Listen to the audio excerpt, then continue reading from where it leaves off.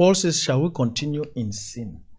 Paulus drückte sich so aus, ja, sollen wir weiter in die Sünde verweilen, That grace may abound? damit die Gnade in uns zunimmt? No. Auf keinen Fall. God forbid. Auf keinen. Das sei You uns let fern. go one, Du lässt die Sünde los, that the other will become your possession. damit die Gnade dein Besitztum wird. You see, Paul painted to us so vividly Also Paulus hat es wirklich ganz deutlich uns ausgemalt. in Philippians 3. Nämlich in Philippa 3. He says that the things that he has considered valuable, the things which are good for to him, the things that have described him, defines him, the things that he has so identified to, fell in love with, he says he counted this as dung. He counts them as nothing, that he may gain the excellency of Christ. So you cannot gain until you lose. Amen. Amen. So look, the price is not that you do something. No, the price is that you sell. Amen. Von hinten angefangen. Der Preis ist nicht, dass du etwas tust. Der Preis ist nicht, dass du Gott etwas bringst, wie zum Beispiel dein Geld oder du bist einfach nett zu dem Menschen. Das ist nicht der Preis. Der Preis ist, dass du loslässt, um zu gewinnen. Paulus hat es in, in Philippa 3. Er hat uns das so geschildert, dass das, was ihm wichtig war, ja, das, was ihm wirklich kostbar war, das, was er für sich gehalten hat, alles, was er als sich selbst identifiziert hat, all das, er hielt es für Müll. Er hielt all das wirklich für Müll. Also sprich, er musste diese loslassen. Und zwar freiwillig. Wozu? Damit er die Übergröße an der Erkenntnis, die Übergröße an der Kraft Gottes in Christus zu eigen macht. Und von daher der Preis ist loslassen und nicht festhalten und etwas zu geben. Nein, nein, nein, nein, nein. Lasse all das los. Verkaufe sie alle. Amen. Amen. You remember the story of the young rich man? Ihr kennt ja die Geschichte. Und zwar von dem reichen jungen Menschen. No, he came to Jesus and he said, Wow, you're a good man in, in Matthew 19. Ja, in Matthäus 19 kam er zu Jesus und sagt, Mensch, guter Lehrer, guter You know, Mensch. from um, the verse 17 to 23. Das finden wir im Vers 17 bis 23. And when Jesus told him what he should do, Und als Jesus ihm erzählt habe, was er tun sollte, in the verse number 21, im Vers, precisely, im Vers 21 genau, Jesus gave him the condition. Jesus hat ihm die Bedingung gestellt. After which he told Jesus that, Look, I've kept the commandment, you know, adultery, I haven't done it, I haven't stolen, and all these things. And Jesus says, There is one thing that you still need to do. Nämlich, als er nämlich aufgezählt hat, ja, seine guten Werke, ich habe die Gebote gehalten, ich habe nicht gestohlen, ich habe die Frau eines anderen nicht begehrt und so. Ja, er dachte, er könnte Jesus beeindrucken. Doch der Punkt ist, Jesus hat ihn angeschaut. Und die Bibel macht das so klar, aus Liebe hat er es ihm erzählt. Eins fehlt dir noch. Amen. Amen. So Jesus said to him, If thou wilt be perfect, go and sell that thou hast. The same principle here. Hier sagte Jesus zu ihm, wenn du vollkommen sein willst, so geh hin, verkaufe deine Habe.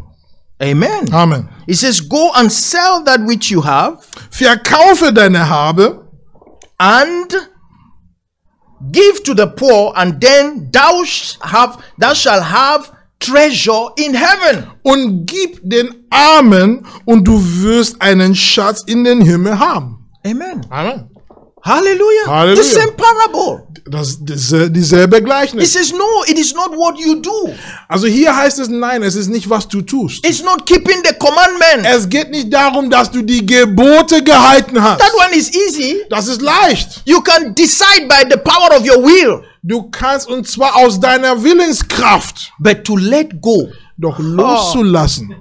Amen. Amen. That's where the power is. Aber genau dort befindet sich die Kraft. Hallelujah. Amen. And so now he's not talking about letting go only that which is negative, also positive. There are some good experience that you've had, and you Amen. think that you are that experience. You know, at times you boast, you know, you know who I am, you know what I used to do. And All these things, he's saying the positive and the negative, let go.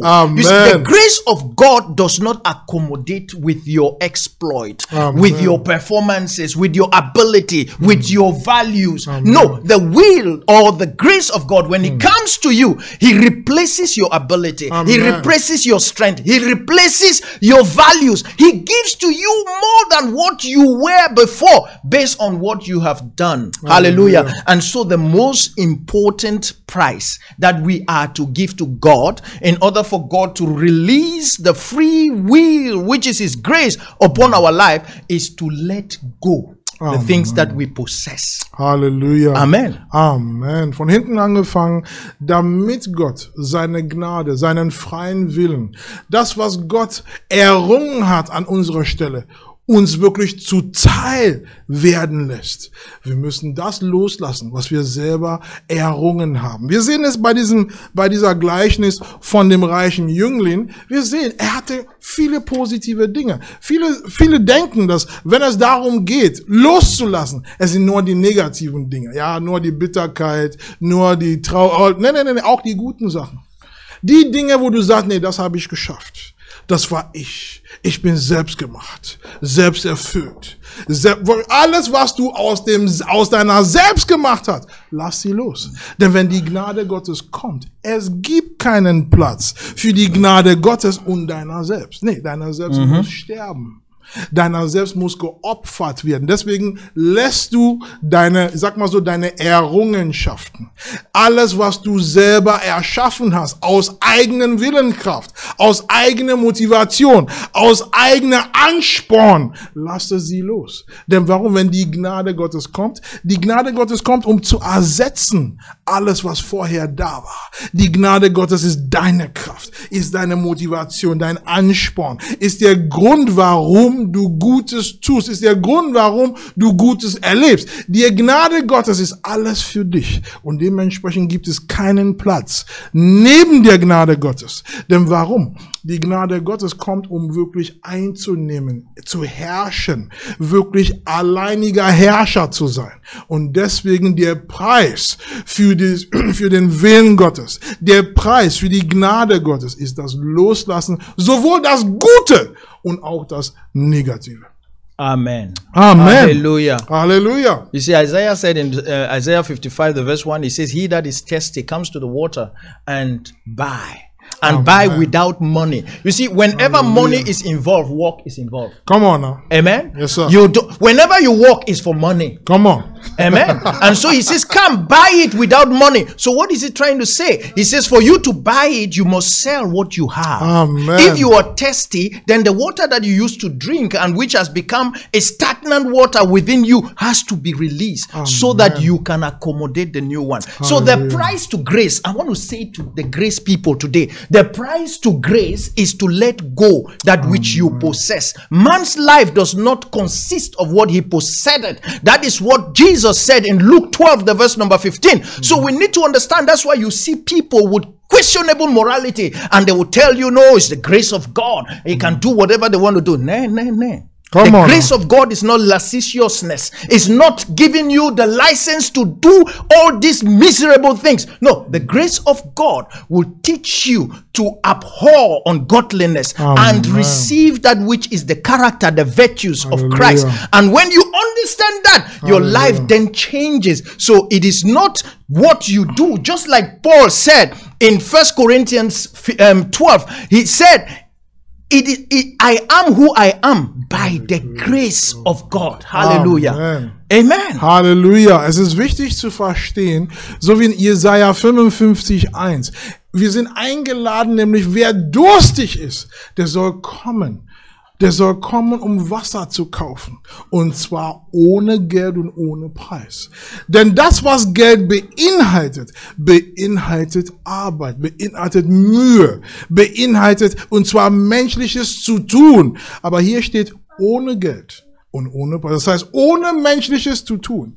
Und von daher, um einfach mal die Menschen anzusprechen, die die Gnade so sehr, ich sag mal so, also die Gnade so sehr mögen. Ja, also Gnadebewegung, ja, kein Thema. Nur der Punkt ist, die Gnade Gottes ist nicht dafür da, damit man, ich sag mal so, ungöttlich lebt. Die Gnade Gottes ist nicht dafür da, damit das, damit man das Gegenteil von Gott zeigt.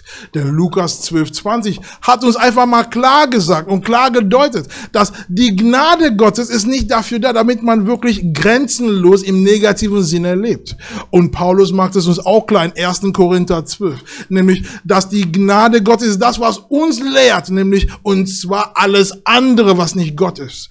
Alles, was töricht ist. Alles, was, ich sag mal so, Gott in, ich sag mal so, Gott verdreht. Ja, all das sollen wir loslassen. Also, wenn du die Gnade bist, wenn du die Gnade empfängst, das fordert von dir alles, was nicht Christus ist. Alles, was Gott verdreht, lasse sie los. Es geht nicht um das, was du tust. Es geht um wer du bist. Es geht nicht um das, was du leisten kannst. Es geht um das, was die Gnade selbst zu dir ist und durch dich bewirken kann. Und von daher, der Preis der Gnade ist loszulassen. All das, was du nämlich dir selbst zuschreiben kannst. Amen. Amen. Hallelujah. Halleluja. It's 1 Corinthians 15, the verse number 10. Also für 1. Korinther 15, Vers 10.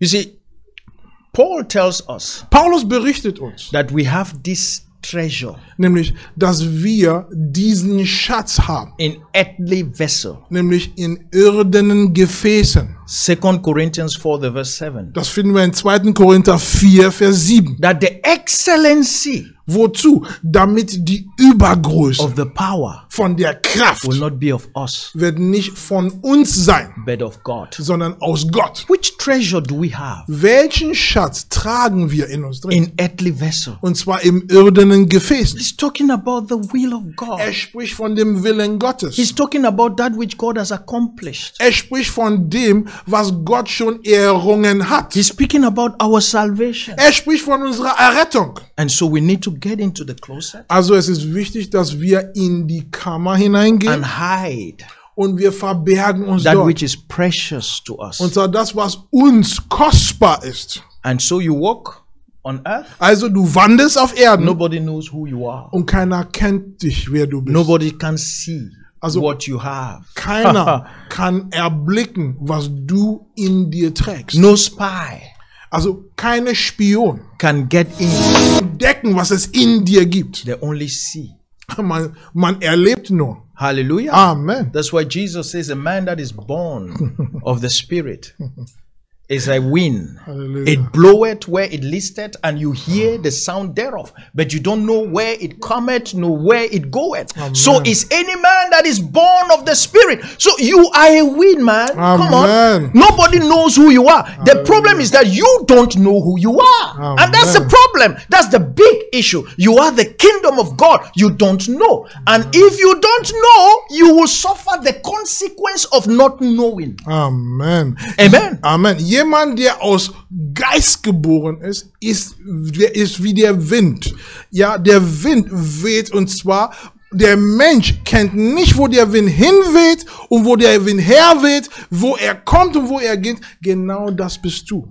Du bist Geist und du bist Wind. Das bedeutet, du bist der, du bist der, das Himmelreich. Du bist Gottes Schatz. Doch das Problem ist, du erkennst nicht, wer du bist. Und genau das ist das große Problem, dass du nicht erkennst, dass Gott dich zum Schatz gemacht hat. Dass Gott dich, und zwar erhält Großes von dir. Es ist wichtig, dass du dazu wach wirst. Thank you, Lord Jesus. Dank, Herr Jesus. Hallelujah. Amen.